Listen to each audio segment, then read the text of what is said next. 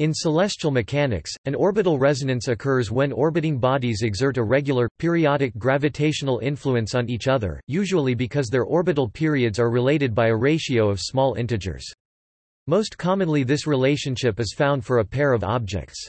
The physics principle behind orbital resonance is similar in concept to pushing a child on a swing, where the orbit and the swing both have a natural frequency, and the other body doing the pushing will act in periodic repetition to have a cumulative effect on the motion. Orbital resonances greatly enhance the mutual gravitational influence of the bodies, i.e. their ability to alter or constrain each other's orbits. In most cases, this results in an unstable interaction, in which the bodies exchange momentum and shift orbits until the resonance no longer exists. Under some circumstances, a resonant system can be stable and self-correcting, so that the bodies remain in resonance. Examples are the 1, 2–4 resonance of Jupiter's moons Ganymede, Europa and Io, and the 2–3 resonance between Pluto and Neptune. Unstable resonances with Saturn's inner moons give rise to gaps in the rings of Saturn. The special case of 1-to-1 resonance between bodies with similar orbital radii causes large solar system bodies to eject most other bodies sharing their orbits. This is part of the much more extensive process of clearing the neighborhood, an effect that is used in the current definition of a planet. A binary resonance ratio in this article should be interpreted as the ratio of number of orbits completed in the same time interval, rather than as the ratio of orbital periods, which would be the inverse ratio. Thus the 2 to 3 ratio above means Pluto completes two orbits in the time it takes Neptune to complete three. In the case of resonance relationships among three or more bodies, either type of ratio may be used in such cases the smallest whole integer ratio sequences are not necessarily reversals of each other and the type of ratio will be specified. History Since the discovery of Newton's law of universal gravitation in the 17th century, the stability of the Solar System has preoccupied many mathematicians, starting with Laplace. The stable orbits that arise in a two-body approximation ignore the influence of other bodies. The effect of these added interactions on the stability of the Solar System is very small, but at first it was not known whether they might add up over longer periods to significantly change the orbital parameters and lead to a completely different configuration, or whether some other stabilizing effects might maintain the configuration of the orbits of the planets. It was Laplace who found the first answers explaining the linked orbits of the Galilean moons see below. Before Newton, there was also consideration of ratios and proportions in orbital motions, in what was called the music of the spheres, or musica universalis. Topic: Types of resonance. In general, an orbital resonance may involve one or any combination of the orbit parameters e.g. eccentricity versus semimajor axis, or eccentricity versus orbital inclination act on any time scale from short-term, commensurable with the orbit periods, to secular, measured in 104 to 106 years lead to either long-term stabilization of the orbits or be the cause of their destabilization. A mean motion orbital resonance occurs when two bodies have periods of revolution that are a simple integer ratio of each other. Depending on the details, this can either stabilize or destabilize the orbit. Stabilization may occur when the two bodies move in such a synchronized fashion that they never closely approach. For instance, the orbits of Pluto and the Plutinos are stable, despite crossing that of the much larger Neptune, because they are in a 2 to 3 resonance with it. The resonance ensures that, when they approach perihelion and Neptune's orbit, Neptune is consistently distant averaging a quarter of its orbit away. Other much more numerous Neptune-crossing bodies that were not in resonance were ejected from that region by strong perturbations due to Neptune. There are also smaller but significant groups of resonant trans-Neptunian objects occupying the 1–1 Neptune Trojans, 3–5, 4–7, 1–2 Twotinos and 2–5 resonances, among others, with respect to Neptune. In the asteroid belt beyond 3.5 astronomical units from the Sun, the 3–2, 4–3 and 1–1 resonances with Jupiter are populated by clumps of asteroids the Hilda family, the few Thule asteroids, and the numerous Trojan asteroids, respectively. Orbital resonances can also destabilize one of the orbits. This process can be exploited to find energy-efficient ways of deorbiting spacecraft. For small bodies, destabilization is actually far more likely. For instance, in the asteroid belt within 3.5 astronomical units from the Sun, the major mean motion resonances with Jupiter are locations of gaps in the asteroid distribution, the Kirkwood gaps most notably at the 4 to 1, 3 to 1, 5 to 2, 7 to 3 and 2 to 1 resonances. Asteroids have been ejected from these almost empty lanes by repeated perturbations. However, there are still populations of asteroids temporarily present in or near these resonances. For example, asteroids of the Alinda family are in or close to the 3 to 1 resonance, with their orbital eccentricity steadily increased by interactions with Jupiter until they eventually have a close encounter with an inner planet that ejects them from the resonance. In the rings of Saturn, the Cassini division is a gap between the inner B ring and the outer A ring that has been cleared by a 2-to-1 resonance with the Moon Mimas. More specifically, the site of the resonance is the Huygens gap, which bounds the outer edge of the B ring. In the rings of Saturn, the Encke and Keeler gaps within the A ring are cleared by 1-to-1 resonances with the embedded moonlets Pan and Daphnis, respectively. The A-ring's outer edge is maintained by a destabilizing 7-6 resonance with the Moon Janus, most bodies that are in resonance orbit in the same direction. However, the retrograde asteroid 2015 BZ 509 appears to be in a stable for a period of at least a million years 1, 1 resonance with Jupiter. In addition, a few retrograde Damocloids have been found that are temporarily captured in mean motion resonance with Jupiter or Saturn. Such orbital interactions are weaker than the corresponding interactions between bodies orbiting in the same direction. A Laplace resonance is a three-body resonance with a 1, 2 to 4 orbital period ratio equivalent to a 4, 2 to 1 ratio of orbits.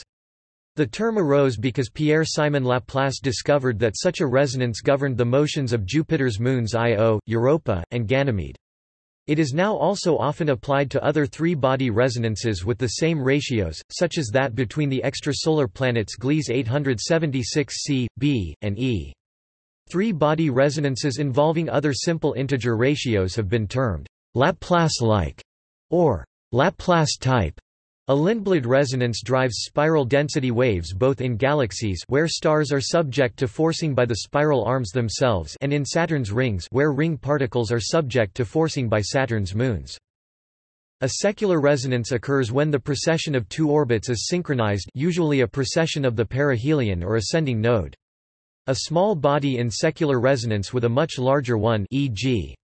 a planet will precess at the same rate as the large body. Over long times a million years, or so a secular resonance will change the eccentricity and inclination of the small body.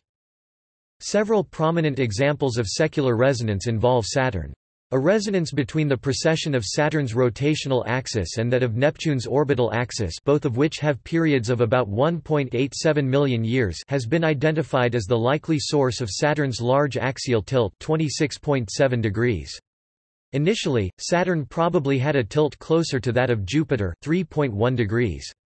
The gradual depletion of the Kuiper belt would have decreased the precession rate of Neptune's orbit. Eventually, the frequencies matched, and Saturn's axial precession was captured into the spin-orbit resonance, leading to an increase in Saturn's obliquity.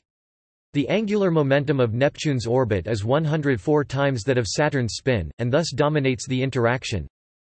The perihelion secular resonance between asteroids and Saturn nu 6 equals G-G6 helps shape the asteroid belt the subscript 6 identifies Saturn as the sixth planet from the Sun. Asteroids which approach it have their eccentricity slowly increased until they become Mars crossers, at which point they are usually ejected from the asteroid belt by a close pass to Mars. This resonance forms the inner and side Boundaries of the asteroid belt around 2 astronomical units, and at inclinations of about 20 degrees. Numerical simulations have suggested that the eventual formation of a perihelion secular resonance between Mercury and Jupiter G1 equals G5 has the potential to greatly increase Mercury's eccentricity and possibly destabilize the inner solar system several billion years from now. The Titan ringlet within Saturn's C ring represents another type of resonance in which the rate of apsidal precession of one orbit exactly matches the speed of revolution of another. The outer end of this eccentric ringlet always points towards Saturn's major moon Titan. A Kozai resonance occurs when the inclination and eccentricity of a perturbed orbit oscillate synchronously, increasing eccentricity while decreasing inclination and vice versa. This resonance applies only to bodies on highly inclined orbits. As a consequence, such orbits tend to be unstable, since the growing eccentricity would result in small pericenters, typically leading to a collision or for large moons destruction by tidal forces. In an example of another type of resonance involving orbital eccentricity, the eccentricities of Ganymede and Callisto vary with a common period of 181 years, although with opposite phases. Topic: Mean motion resonances in the Solar System. There are only a few known mean motion resonances in the Solar System involving planets, dwarf planets or larger satellites a much greater number involve asteroids, planetary rings, moonlets and smaller Kuiper belt objects, including many possible dwarf planets. 2 to 3 Pluto-Neptune also Orcus and other Plutinos 2 to 4 Tethys Mimas Saturn's moons not simplified, because the libration of the nodes must be taken into account. 1 to 2 Dione Enceladus Saturn's moons. 3 to 4 Hyperion Titan Saturn's moons. 1, 2 to 4 Ganymede Europa Io Jupiter's moons, ratio of orbits. Additionally, Haumea is believed to be in a 712 resonance with Neptune, and 225088-2007-0R10 is believed to be in a 310 resonance with Neptune. The simple integer ratios between periods hide more complex relations. The point of conjunction can oscillate librate around an equilibrium point defined by the resonance, Given non-zero eccentricities, the nodes or periapsides can drift a resonance-related, short period, not secular precession. As illustration of the latter, consider the well-known 2-to-1 resonance of Io Europa. If the orbiting periods were in this relation, the mean motions n n inverse of periods, often expressed in degrees per day would satisfy the following n i o minus 2 n e u equals 0 Display style n underscore erm i o minus two c dot n underscore erm eu equals zero. Substituting the data from Wikipedia, one will get minus 0.7395 degrees day minus one, a value substantially different from zero.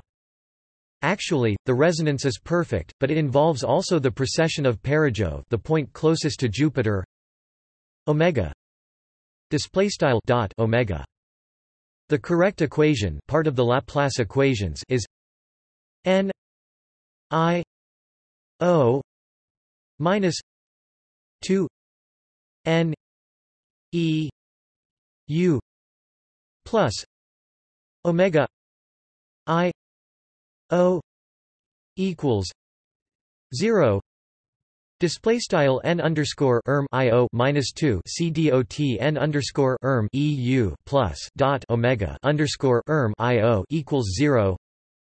In other words, the mean motion of Io is indeed double of that of Europa, taking into account the precession of the perijove. An observer sitting on the drifting perijove will see the moons coming into conjunction in the same place elongation. The other pairs listed above satisfy the same type of equation with the exception of Mimas Tethys resonance.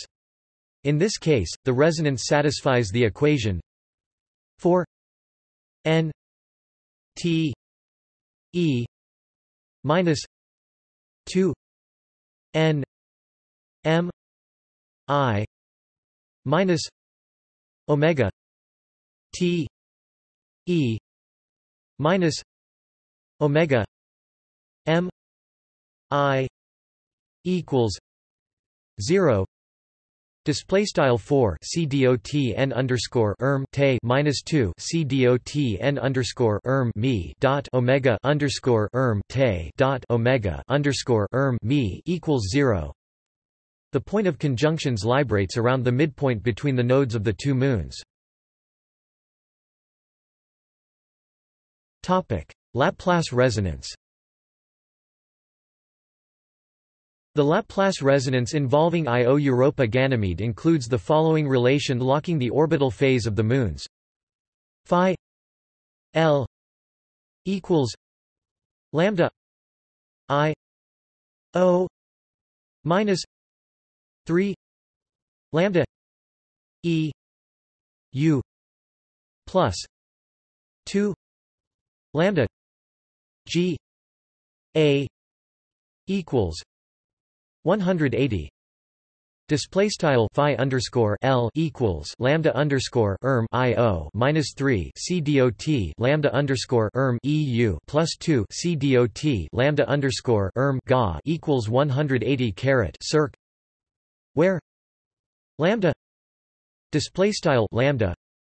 Are mean longitudes of the moons the second equals sign ignores libration this relation makes a triple conjunction impossible. A Laplace resonance in the Gliese 876 system, in contrast, is associated with one triple conjunction per orbit of the outermost planet. Ignoring libration, the graph illustrates the positions of the moons after 1, 2 and 3 IO periods. Phi L display style phi underscore L librates about 180 degrees with an amplitude of 0.03 degrees. Another Laplace-like resonance involves the Moon's Styx, Nix and Hydra of Pluto. Phi equals 3 lambda s minus 5 lambda n plus 2 lambda h equals 180 Display style phi equals three c dot lambda underscore erm s minus five c dot lambda underscore erm n plus two c dot lambda underscore erm h equals one hundred eighty caret circ. This reflects orbital periods for Styx, Nix and Hydra, respectively, that are close to a ratio of 18 hours 22 minutes and 33 seconds or, in terms of the near resonances with Charon's period, 3 plus 3 elevenths, 4 to 6, see below, the respective ratio of orbits is 11, 9 to 6. Based on the ratios of synodic periods, there are five conjunctions of Styx and Hydra and three conjunctions of Nix and Hydra for every two conjunctions of Styx and Nix. As with the Galilean satellite resonance, triple conjunctions are forbidden. Phi display style phi librates about 180 degrees with an amplitude of at least 10 degrees. Topic: Plutino resonances. The dwarf planet Pluto is following an orbit trapped in a web of resonances with Neptune. The resonances include a mean motion resonance of 2 to 3 The resonance of the perihelion libration around 90 degrees, keeping the perihelion above the ecliptic.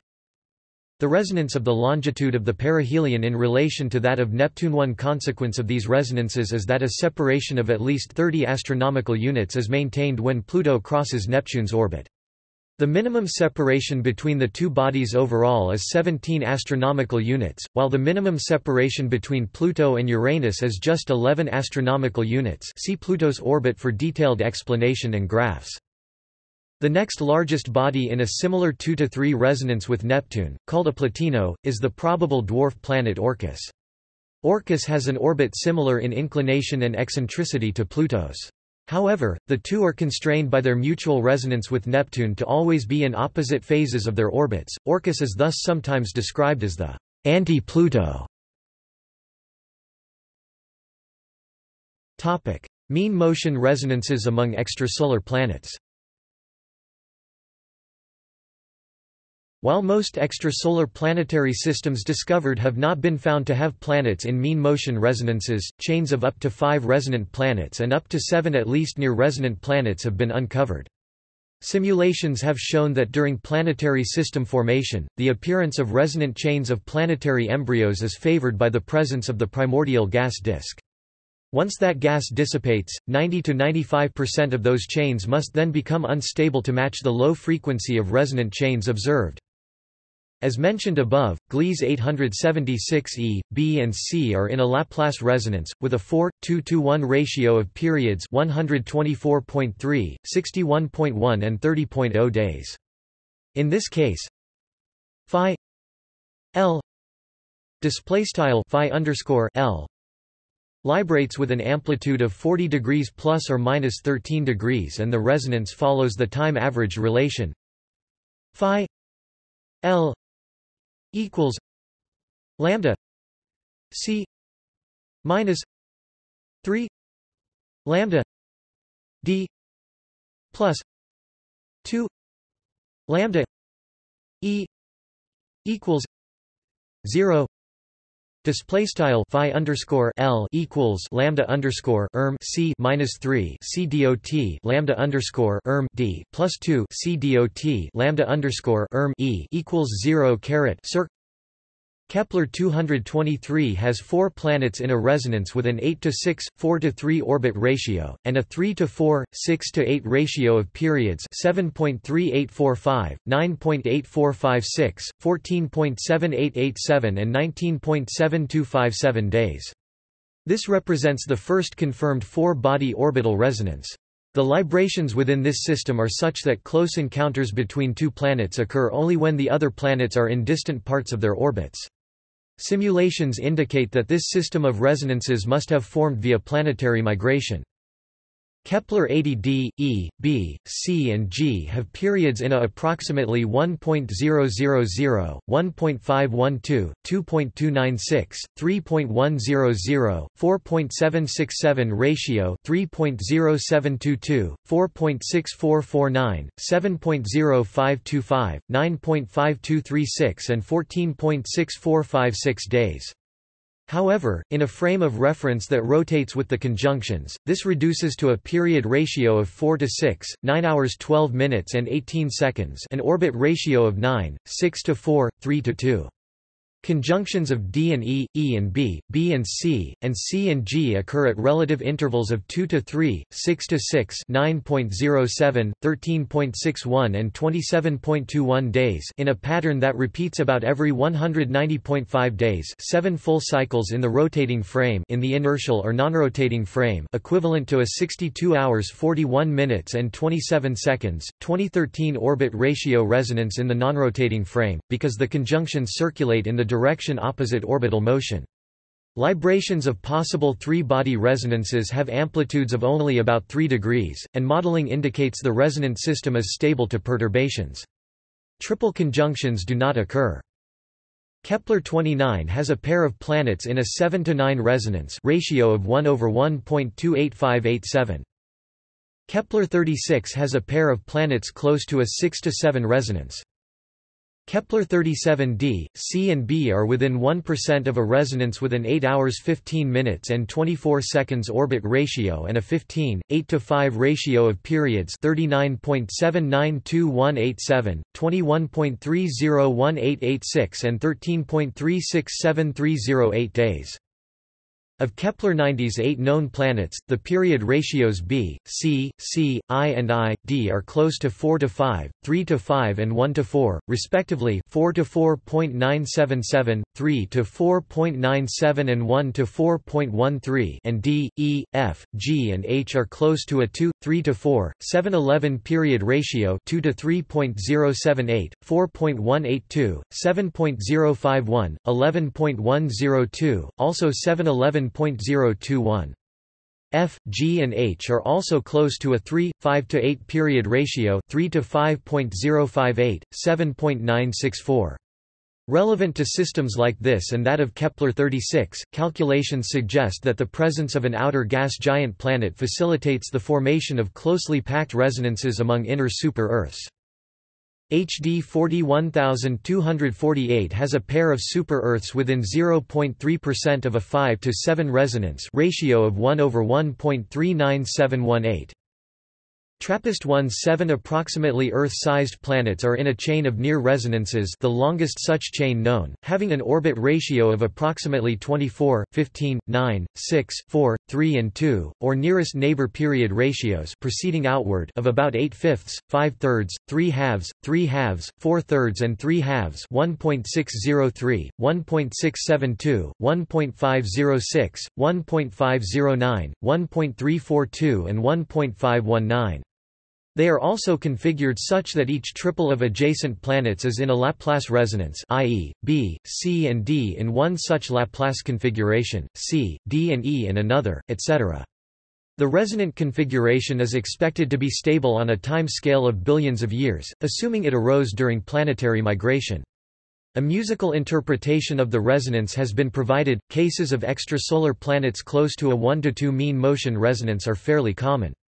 16% of systems found by the transit method are reported to have an example of this with period ratios in the range 1.83 to 2.18, as well as one-sixth of planetary systems characterized by Doppler spectroscopy with in this case a narrower period ratio range. Due to incomplete knowledge of the systems, the actual proportions are likely to be higher. Overall, about a third of radial velocity characterized systems appear to have a pair of planets close to a commensurability. It is much more common for pairs of planets to have orbital period ratios a few percent larger than a mean motion resonance ratio than a few percent smaller particularly in the case of first-order resonances, in which the integers in the ratio differ by 1. This was predicted to be true in cases where tidal interactions with the star are significant. Coincidental near ratios of mean motion A number of near-integer ratio relationships between the orbital frequencies of the planets or major moons are sometimes pointed out see list below. However, these have no dynamical significance because there is no appropriate precession of perihelion or other libration to make the resonance perfect see the detailed discussion in the section above. Such near resonances are dynamically insignificant even if the mismatch is quite small because unlike a true resonance, after each cycle the relative position of the bodies shifts. When averaged over astronomically short timescales, their relative position is random, just like bodies that are nowhere near resonance. For example, consider the orbits of Earth and Venus, which arrive at almost the same configuration after 8 Earth orbits and 13 Venus orbits. The actual ratio is 0.6151864, which is only 0.032% away from exactly 813. The mismatch after eight years is only 1.5 degrees of Venus's orbital movement. Still, this is enough that Venus and Earth find themselves in the opposite relative orientation to the original every 120 such cycles, which is 960 years. Therefore, on timescales of thousands of years or more still tiny by astronomical standards, their relative position is effectively random. The presence of a near resonance may reflect that a perfect resonance existed in the past, or that the system is evolving towards one in the future. Some orbital frequency coincidences include the least probable orbital correlation in the list is that between Io and Métis, followed by those between Rosalind and Cordelia, Pallas and Ceres, Jupiter and Pallas, Callisto and Ganymede, and Hydra and Charon, respectively.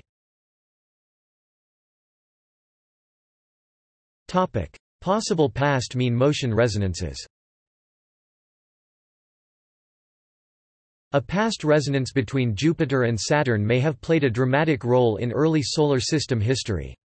A 2004 computer model by Alessandro Morbidelli of the Observatoire de la Côte d'Azur in Nice suggested that the formation of a 1–2 resonance between Jupiter and Saturn due to interactions with planetesimals that caused them to migrate inward and outward, respectively created a gravitational push that propelled both Uranus and Neptune into higher orbits, and in some scenarios caused them to switch places, which would have doubled Neptune's distance from the Sun.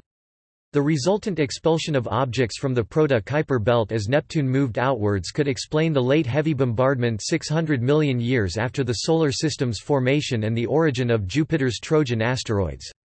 An outward migration of Neptune could also explain the current occupancy of some of its resonances particularly the 2–5 resonance within the Kuiper belt. While Saturn's mid-sized moons Dione and Tethys are not close to an exact resonance now, they may have been in a 2–3 resonance early in the Solar System's history.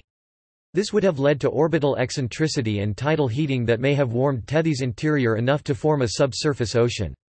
Subsequent freezing of the ocean after the moons escaped from the resonance may have generated the extensional stresses that created the enormous Graben system of Ithaca Chasma on Tethys. The satellite system of Uranus is notably different from those of Jupiter and Saturn in that it lacks precise resonances among the larger moons, while the majority of the larger moons of Jupiter, three of the four largest, and of Saturn, six of the eight largest, are in mean motion resonances. In all three satellite systems, moons were likely captured into mean motion resonances in the past as their orbits shifted due to tidal dissipation a process by which satellites gain orbital energy at the expense of the primary's rotational energy, affecting inner moons disproportionately. In the Uranian system, however, due to the planet's lesser degree of oblateness, and the larger relative size of its satellites, escape from a mean motion resonance is much easier. Lower oblateness of the primary alters its gravitational field in such a way that different possible resonances are spaced more closely together. A larger relative satellite size increases the strength of their interactions. Both factors lead to more chaotic orbital behavior at or near mean motion resonances. Escape from a resonance may be associated with capture into a secondary resonance, and or tidal evolution-driven increases in orbital eccentricity or inclination. Mean motion resonances that probably once existed in the Uranus system include 3 to 5 Ariel Miranda, 1 to 3 Umbriel Miranda, 3 to 5 Umbriel Ariel, and 1 to 4 Titania Ariel. Evidence for such past resonances includes the relatively high eccentricities of the orbits of Uranus's inner satellites, and the anomalously high orbital inclination of Miranda. High past orbital eccentricities associated with the 1 to 3 Umbriel Miranda and 1 to 4 Titania Ariel resonances may have led to tidal heating of the interiors of Miranda and Ariel, respectively.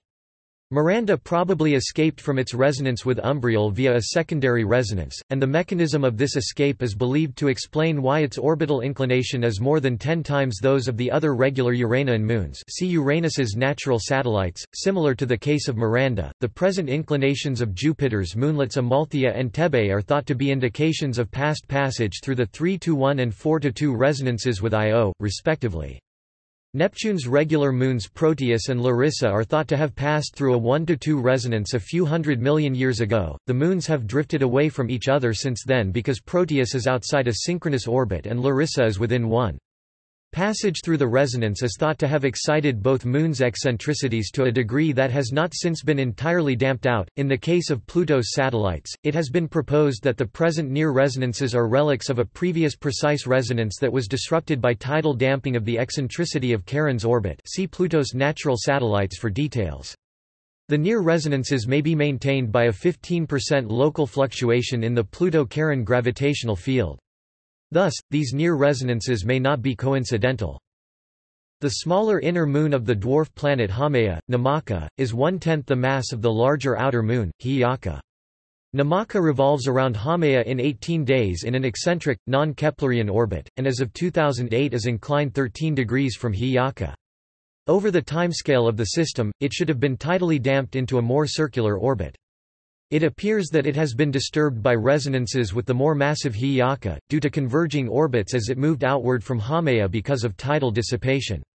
The moons may have been caught in and then escaped from orbital resonance several times. They probably passed through the 3–1 resonance relatively recently, and currently are in or at least close to an 8–3 resonance. Namaka's orbit is strongly perturbed, with a current precession of about 6.5 degrees per year. Topic. See also. 1685 Toro, an asteroid in 5 to 8 resonance with the Earth.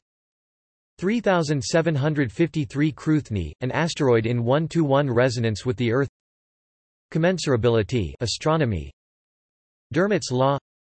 Horseshoe orbit, followed by an object in another type of 1 to 1 resonance. Kozai resonance. Lagrangian points Mercury, which has a 3 to 2 spin orbit resonance. Musica universalis, music of the spheres.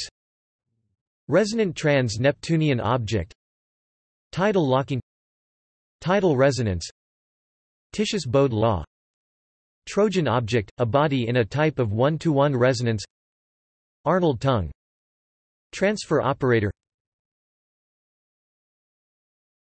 Topic. References Murray, C. D., Dermott, S. F. 1999. Solar System Dynamics. Cambridge University Press. ISBN 0-521-57597-4. Malhotra, Renu, Holman, Matthew, Ito, Takashi. The 23rd of October 2001. Orbital Resonances and Chaos in the Solar System. PDF. PNAS, Solar System Formation and Evolution. 98 22 12342 12343 doi 10.1073 pnas.231384098 Malhotra, Renu 1995 The Origin of Pluto's Orbit Implications for the Solar System Beyond Neptune. The Astronomical Journal, 110–420. Archive, Astro Ph, 9504036. Bibcode, 1995AJ. 0.110, 420m doi 10.1086 117532 Lemaitre, A 2010 Resonances, Models and Captures in Souchay, J., Dvorak, R. Dynamics of Small Solar System Bodies and Exoplanets. Lecture Notes in Physics, 790. Springer. pp. 1–62 doi 10.1007 978 642 04458 ISBN 978-3-642-04457-1. Topic: External links Media related to orbital resonance at Wikimedia Commons